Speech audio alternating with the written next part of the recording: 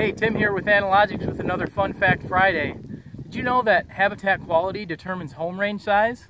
So there's been a lot of studies on the home range size of whitetails throughout their uh, range.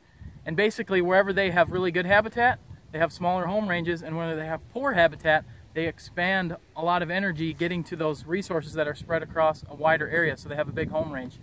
Uh, one instance I, I can cite is a study out of Illinois found average home range size was 250 acres for deer in the summertime. The same time in Georgia, their home range was 2,500 acres. So as an average, that's a, that's a very large span. Uh, across the U.S. though, if you look at all the studies, about one square mile is going to be the average home range size on whitetails.